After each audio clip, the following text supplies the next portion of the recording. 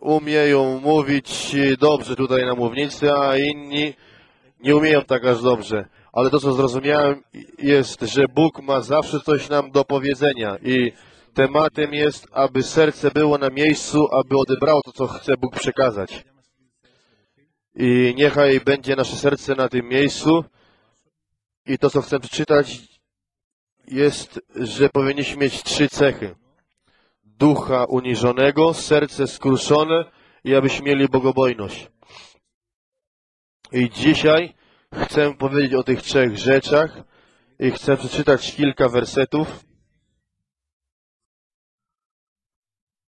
z Księgi Izajasza.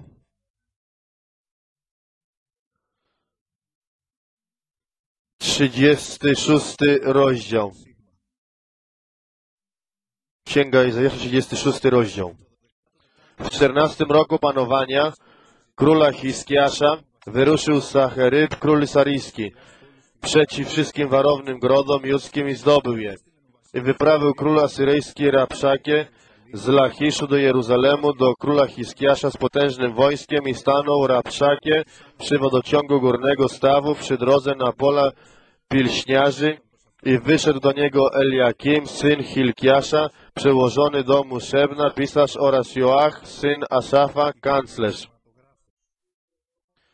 I rzekł do nich Rapszakie, powiedzcie Hiskiaszowi, tak mówi wielki król i asyryjski, na czym opierasz swoją ufność? Czym nie masz, że samo słowo warg starczy już za radę i pomoc w walce? Na kim więc teraz polega, że zbuntowałeś się przeciwko mnie? Oto parłeś swoją ufność na tej lasce nadłamanej trzciny na Egipcie, która wbija się w dłoń każdego, kto na nie się opiera. Takim jest faraon, który egipski, król egipski dla wszystkich, którzy na nim polegają. Ale jeśli mi powiesz, na Panu naszym Bogu polegamy, czy to nie jest ten sam, którego świątynki na wzgórzach i ołtarze znosił Hiskiasz, powiadując do Judy i Jeruzalemu, przed tym ołtarzem bądźcie, będziecie oddawać pokłon. Teraz więc zrób zakład z moim panem, królem asyryjskim, dam ci dwa tysiące koni, czy będziesz mógł posadzić nad nich jeźdźców. Jakże chcesz odprawić z niczym namiestnika, jednego z namiestniejszych sług mojego pana i ty polegasz na Egipcie, że dwa ci rydwany i jeźdźców? I poza tym, czy wbrew woli Pana wyruszyłem przeciwko tej ziemi, aby ją zniszczyć? To Pan rzekł do mnie, wyruszył przeciwko tej ziemi i zniszcz ją. Wtedy rzekł Eliakim i Szebna i Joach do Rapszakie, zachciej, zechciej rozmawiać z Twoimi sługami po armejsku, gdyż my rozumiemy, a nie rozmawiaj z nami po judejsku przed tym ludem, który jest na murze. A Rapszaki odpowiedział, czy do Twojego Pana i do Ciebie posłał mnie mój Pan, abym powiedział te słowa, czy nie raczej do ludzi, którzy siedzą na murze, skazani na to, by u was jeść swój kałip i swój mocz. Potem Rapszakie stanął i zawołał głosem donośnym, doniosłym po jud, judejsku i oświadczył, słuchajcie słów wielkiego króla, króla syryjskiego. Tak mówi król, niech was nie zwodzi Hiskiasz, gdyż nie zdoła was wyratować. Niech Hiskiasz nie doradza wam polegać na Panu, mówiąc, na pewno wyratuje was Pan. Nie będzie, nie będzie to miasto wydane w rękę króla asyryjskiego. Nie słuchajcie Hiskiasza, gdyż tak mówi król asyryjski. Zawrzyjcie ze mną pokój i przyjedźcie do mnie, a będziecie pożywać każdy ze swojej winnicy i ze swojego drzewa i pić każdy wodę ze swojej cysterny. Aż przyjdę i zbiorę was do ziemi, podobnej do waszej ziemi zboża i moszczu, ziemi chleba i winnic. Niech nie zwodzi was Hiskiarz, mówiąc, Pan nas wyratuje, czy wyratowali bogowie narodów, każdy swój kraj z ręki króla asyryjskiego. Gdzie są bogowie Hamatu i Arpadu? Gdzie są bogowie Sefarwaim? Czy wyratowali Samarię z mojej ręki? Które to spośród wszystkich bóstw tych ziemi wyratowało swój kraj z mojej ręki, że Pan miałby wyratować Jeruzalem z mojej ręki? Lecz oni milczeli i nie odpowiedzieli ani słowa, bo taki był rozkaz króla. Nie odpowiadajcie mu. Amen. Bracia i siostry, Pan pozwala na różnego rodzaju sytuacje w naszym życiu. I te sytuacje wiele razy są nieprzyjemne.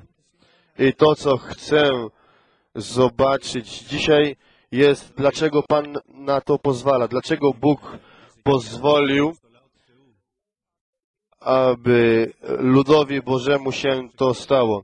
Dlaczego y, powstał tak wielki wróg i szedł przeciwko Jeruzalemu z celem, aby zniszczyć Jeruzalem. Jest, bracia i siostry, słowo, na które Bóg pozwala. Jest jedno słowo. I tutaj widzimy trzech sług Hiskiasza, którzy idą do Rapszakie. I jak Rapszakie mówi im wszystkie te pyszne słowa, bo to są słowa pyszne i wiele razy wróg, bracia i siostry, przychodzi z takimi słowami do nas. Z pysznymi słowami. Chce, abyśmy się poczuli słabi. Chce nas oddalić i chce pomieszać nas, abyśmy nie słyszeli głosu Bożego. I tutaj widzimy tych trzech ludzi, y, którzy nie mówią w ogóle nie, nic, bo takim powiedział Hiskiarz. Ale na pewno wiele razy też się czuliście, że znajdowaliście się na miejscu, byliście uniżani, w tamtej godzinie nic nie mówiliście, ale wiele razy na tym miejscu, jak się uniżasz i nic nie przemawiasz, przychodzi obecność Boga. Tam przychodzi Pan, aby Cię pobłogosławić i tam przychodzi Pan, aby Cię wypełnić Duchem Świętym. Nie przychodzi, jak jesteś mocny, jak jesteś w dobrobycie i to jest cel Boży. Jak nas wkłada do jakiegoś, do jakiejś próby. Nie powinniśmy się patrzeć na to y, z załamaniem i abyśmy powiedzieli, że och, będę zniszczony. To, bracia i siostry, nie jest y, czynne u chrześcijanina. Chrześcijanin nigdy nie zniszczeje. Chrystus nie zaprosił Cię, abyś był zniszczony, ale zaprosił Cię, aby Cię pobłogosławił. Ale Słowo Boże pisze, że musimy wyjść doświadczeni. Jakie jest nasze, nasze doświadczenie? Od chwili, jak przyjęliśmy, abyśmy byli dziećmi Bożymi, Bóg co czyni? Daje nas, poddaje nas pod próby. Czyli od chwili, jak przyjąłeś, abyś stał się dzieckiem Bożym, Bóg Cię przeprowadzi poprzez trudności. Nie trudności, abyś mówił, że przechodzisz przez trudności, ale trudności, które nie będziesz mógł odpowiedzieć i wyjść z tych trudności. I teraz pytanie, tak czyni Bóg ze swoimi dziećmi? Tak czyni. I ponownie mówię, że nie robi to dla Twojego zniszczenia, nie chce Cię zniszczyć, ale to czyni, aby był wychwalony przez to. I jeszcze chce stworzyć Twoje serce. I niżej widzimy Hiskiasza, jak usłyszał wszystkie te słowa, jak rozdziela swoje szaty i wysyła do y, y, posłanników do Izajasza. I mu, którzy mu powiedzieli, że dobrze było, abyś słyszał Izajaszu i żeby Bóg usłyszał wszystkie te słowa, o których powiedział Rapszakie. I Izajasz i Izajaszowi powiedział Bóg, żebyś się nie był, bo wszystko to, co powiedział Rapszakie, nic się nie stanie, bo ja jestem Bogiem. I to nam mówi Bóg, abyśmy się nie bali słów diabła, bo kto przemawia poprzez Rapszakie? Diabeł przemawia poprzez Rapszakie i mówi y, w dodatku, że nie miej nadziei w Bogu, nie miej nadziei, nadziei w Bogu, bo nie pomoże ci. Słyszałeś ile razy y, takie słowa w twoim sercu, co on zrobi dla ciebie? Zrobi coś do tego momentu i to jest diabeł, który przemawia do ciebie. Widzimy u Piotra, Pan mu powiedział, że ty jesteś e, skałą, na której zbuduję mój kościół. I niżej widzimy Piotra, e, który mówił do Pana, zmiłuj się nad sobą i Pan powiedział mu, idź precz ode mnie szatanie. Dlaczego mu tak powiedział? Bo nie myślisz o tym, co Boże, ale o tym, co ludzkie. I jak my myślimy o tym, co ludzkie, Bóg nie przemawia w nas, nie przemawia Duch Święty, ale przemawia głos y, diabła. I powinniśmy, i ten głos wiele razy chce nas zburzyć, chce, abyśmy się poddali, bo głos diabła ma obietnicę oszustwa, osz- kłamliwe. I tutaj widzimy, jak Rapszakie mówi, że zostawcie, y, przyłączcie się do mnie i przyjdźcie do mnie i ja wam dam winnicę i poprowadzę was do ziemi, która jest podobna do waszej. I to jest wyjście z sytuacji.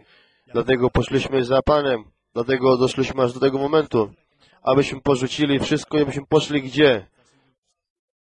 Mamy się połączyć ze światem, mamy połączyć się z kryzysem dzisiejszym, mamy połączyć się z tym wszystkim, co świat mówi, że to jest dla naszego dobra. Po, przypomnijmy sobie, kto nas wyzwolił, kto Cię wyzwolił wcześniej, kto Cię przyprowadził tutaj. Jak Pan Cię tutaj przyprowadził, Pan nie jest tym, który zakończy to dzieło i dlatego, bracia i siostry, to, co chcę, aby nam pozostało, jest, że Pan ma doskonały plan. Ma doskonały plan. Trudności, które przechodzisz, nie są yy, tak yy, sobie, to są wszystko przygotowane poprzez Boga, byś przez nie przeszedł.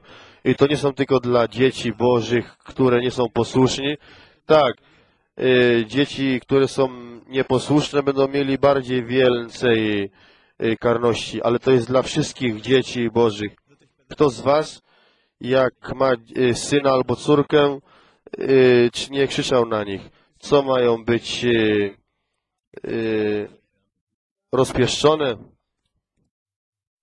I w taki sposób Bóg nas wyćwicza. I poprzez te wyćwiczenie powinniśmy mieć cierpliwość. Powinniśmy mieć cierpliwość. Cierpliwość jest trudnym słowem,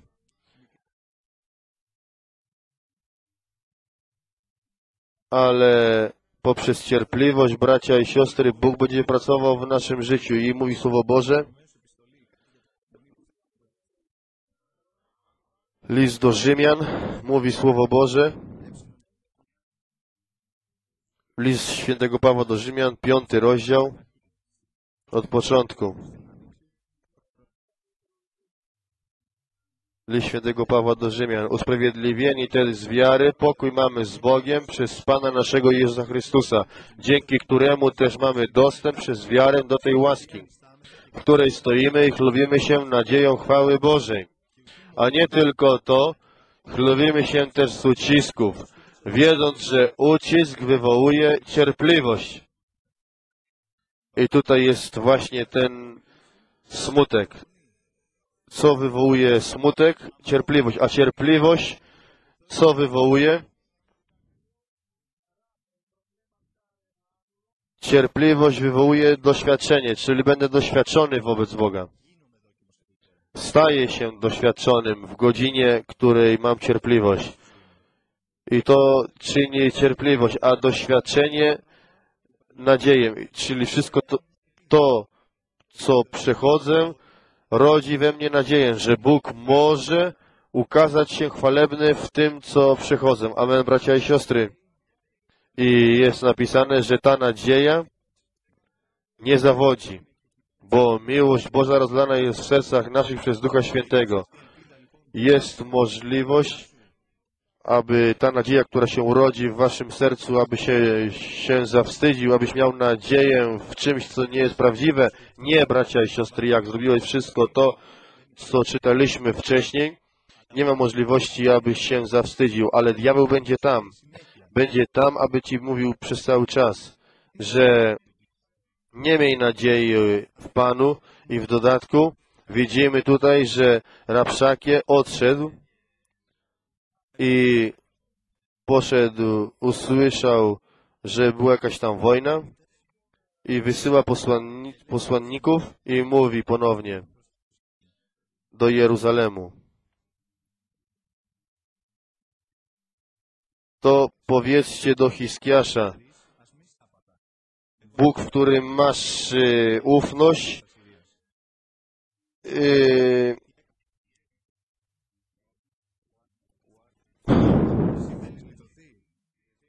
I ty będziesz wyzwolony.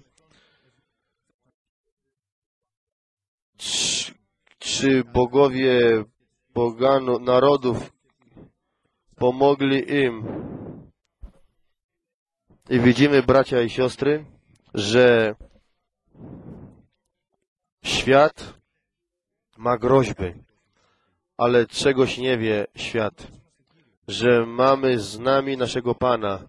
Nie jesteś jednym zwykłym człowiekiem. To, że dzisiaj jesteś tutaj, to, że dzisiaj uwierzyłeś w Pana, że idziesz za Nim, że na nowo narodził Cię Pan, ochrzcił Cię Duchem Świętym, bracie i siostro, masz Pana z sobą.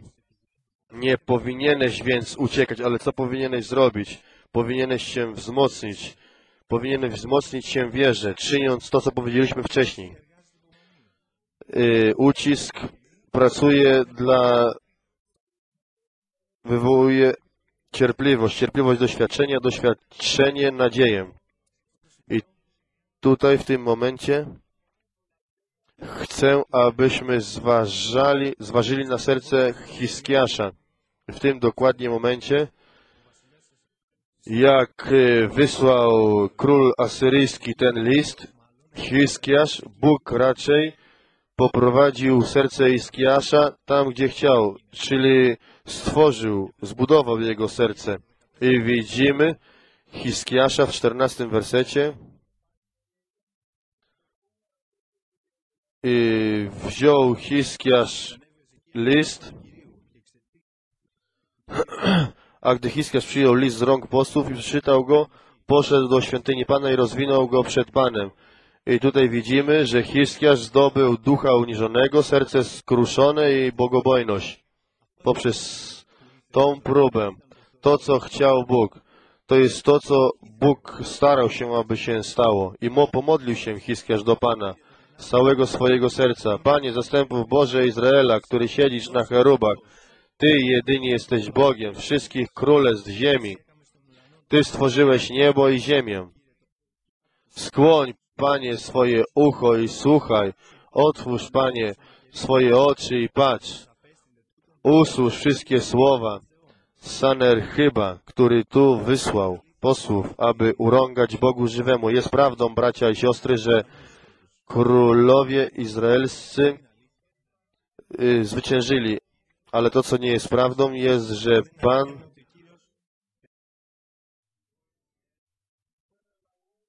raczej to, co jest prawdą, że Pan y, podniesie swój lud. Nie jest, y, że nie stanie się to, co mówi król y,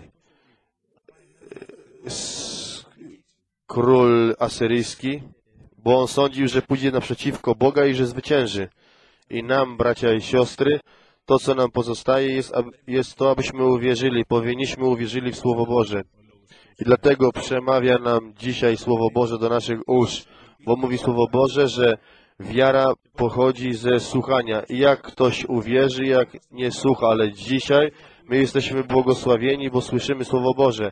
I chcę ponownie powiedzieć, że powinniśmy słuchać Słowo Boże, bo nie przemawia człowiek. Biada, abyśmy przychodzili do kościoła, gdzie przemawiają ludzie. Wtedy byśmy mieli wtedy byłoby wytłumaczalne, że byłoby nudno. Ale tutaj nie przemawia nam człowiek, ale przemawia nam Pan. Poprzez naczynia gliniane. I dlaczego nam przemawia? Bo nas kocha i chce nas informować to, co chce uczynić w naszym życiu. I to nie znaczy, że nie będziemy mieli trudności, nie, będziemy, że, nie znaczy, że nie będziemy mieli smutku, ale znaczy, że będziemy mieli dobry koniec.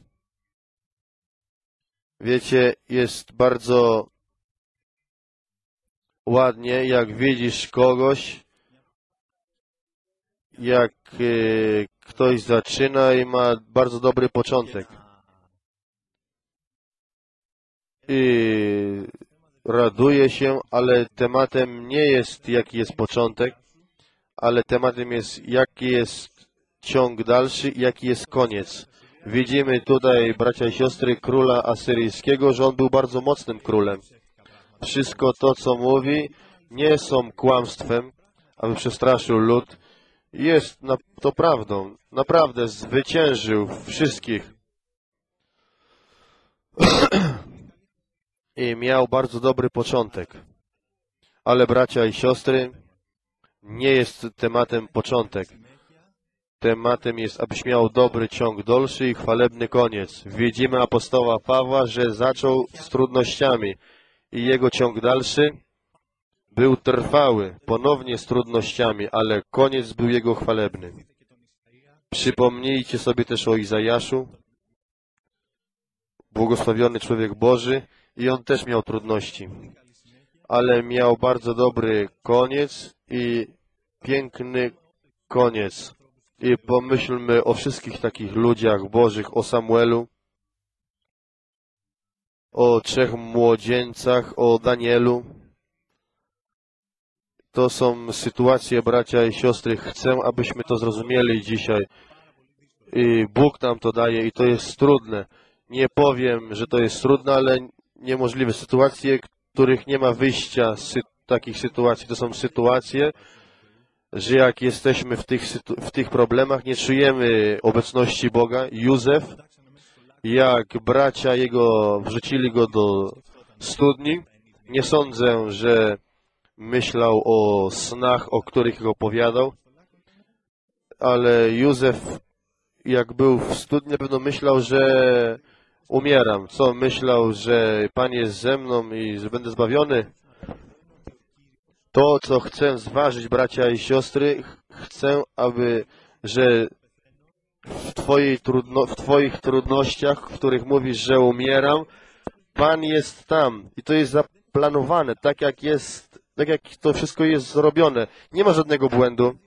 Po dwóch sekundach, po dwóch minutach yy, przyjeżdżali kup, kupcy, którzy jechali do Egiptu i włożył do serca jednego brata, aby go wyciągnął ze studni, aby go sprzedali. I jak to wszystko się stało? Bóg to miał zaplanowane wszystko. Jaki jest koniec Józefa? Jaki jest koniec Józefa? Miał zły koniec Józefa? Co, umarł gdzieś w jakiejś studni? Stał się sługą? Koniec Józefa był taki, że miał być zaraz po Faraonie. I to było nie do wiary, niemożliwe. I żartem mógłby ktoś by mógł powiedzieć, że jeden sługa stał się pod faraonem. I to stało się. I to czyni Bóg w życiach, w życiu Twoim i w życiu każdego z nas. To chce Bóg uczynić w Twojej trudności i w próbie, której się znajdujesz. Chcecie wyciągnąć złotem czystym, ale też chce stworzyć Twoje serce, chce Ci dać ducha uniżonego, serce skruszone i abyś miał bogobojność. Chce to uczynić Pan. I bracia i siostry, łaska Boża jest próba, jest próbą. Łaską Bożą jest próba. I Bóg, bracia i siostry, czyni piękne zmiany. Jaką Y, nadzieję miał w tej historii Hiskiarz, aby uratował swój naród. Była jakakolwiek nadzieja i wiele razy widzimy Boga, który czyni działania ziemskie, czyli na przykład przestraszy wojska i ucieknie wojsko, albo zaczną się bić między sobą, ale tutaj, bracia i siostry, coś uczynił Bóg jedynego, bo lud Jego miał nadzieję w Nim i mógłby uczynić tyle rzeczy, Bóg wysłał swojego anioła i jest to napisane w 36 wersecie. I wyszedł anioł Pana i pozbawił życia w obozie asyryjskim 185 tysięcy mężów. Oto następnego dnia rano wszyscy byli nieżywi. Gdzie są słowa króla Asyrii? Nie były to słowa puste. Słowa puste są słowami tymi, który, przez które ci przemawia diabeł. To są słowa puste.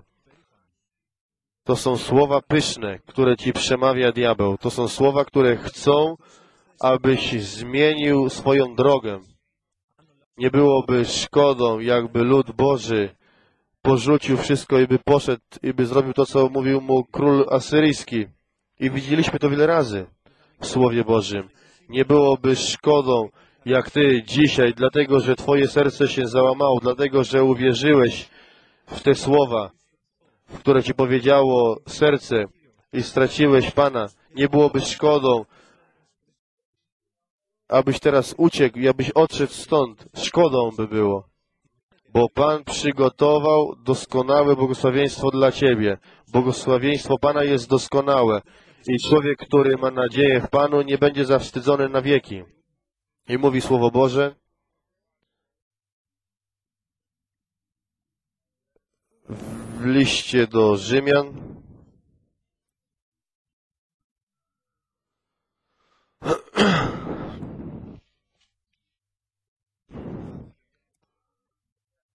jedenasty rozdział, trzydziesty trzeci werset. O głębokości bogactwa i mądrości i poznania Boga, jakże niezbadane są wyroki Jego i niewyśledzone drogi Jego. Bo któż poznał myśl Pana, albo któż był doradcą Jego, albo któż wpierw dał Mu coś, albo za to otrzymać odpłatę, albowiem z Niego i przez Niego i ku Niemu jest wszystko. Jemu niech będzie chwała na wieki. I bracia i siostry widzimy, że Bóg jest mądrym Bogiem. I mądrość Jego jest, y, ma wielką głębokość i szerokość. I nie możemy wyśledzić drogi Jego, sposób w jaki myśli. Nie staraj się wyśledzić, dlaczego się dzieje to w Twoim życiu, dlaczego miałem przejść przez tą drogę. Może to było dlatego, bo stało się to, może to się stało, bo powinienem zrobić coś innego. Jak dzisiaj jesteś tutaj, bracie i siostro, nie śledź tego, nie szukaj. Powinniśmy wziąć to po prostu i powinniśmy być posłuszni Słowu Bożemu. Mówi nam cierpliwość, że ja przygotowałem dla Ciebie następny krok i na pewno też koniec. I bracia i siostry, Bóg Pan nam powiedział, Paweł w jednym swoim liście, że teraz pozostają y, wiara, nadzieja, miłość, a największa z tych wszystkich miłość. I te trzy chce nam podarować Bóg. Wiara, nadzieja w Niego i miłość. I miłość, bracia i siostry, jest to, co jak nam to da Pan i będziemy mieli, będziemy pełni miłości, wtedy wszystko wokół nas będzie proste. Odejdą wszystkie małowierności, odejdą różnego rodzaju myśli nasze i wtedy Pan będzie szedł pierwszy na naszej drodze, ale nie jesteśmy doskonali i dlatego Bóg pozwala na takie rzeczy w naszym życiu. Jakbyśmy byli doskonali, nie bylibyśmy tutaj dzisiaj, ale byśmy byli w niebie ale Pan stara się nas udoskonalić i nie udoskonali Cię, abyś był bezpieczny, aby Ci wszystko mówił. Chcę, abyś się bał. Chcę, abyś się bał nie strachem świata, ale chcę, abyś się do Niego przybliżył. Chcę, abyś poczuł te uniżenie, te skruszenie serca, i jak się przybliżamy do Niego, wtedy nas błogosławi. Jak poczujesz to, jak wszystko w Twoim życiu idzie dobrze? Nie będziesz mógł tego poczuć. Bóg to czyni, tak czyni to w naszym życiu. To chciałem Wam powiedzieć. Mam nadzieję, że Słowo Boże weszło do naszych serc. Pan niech to uczyni i niech nas przygotuje, bracia i siostry, do porwania. Amen.